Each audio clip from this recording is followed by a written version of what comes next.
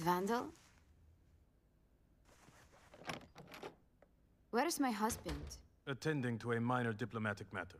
I'm to tell you that he will return shortly.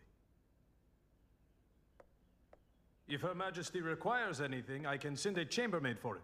If I need any assistance taking a walk, I'll let you know.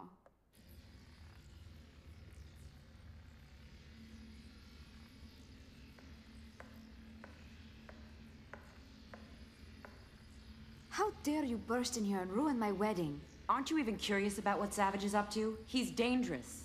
Why? Do you think he might throw a tank through my wall? Grow up. He's obviously using you. He's amassing military and political power. For what? What do you think? He's got to be stopped! You're a raving lunatic.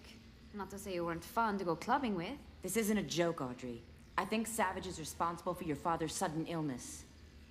And I think you've just crossed a line. Don't walk away, Audrey. You're making a big mistake.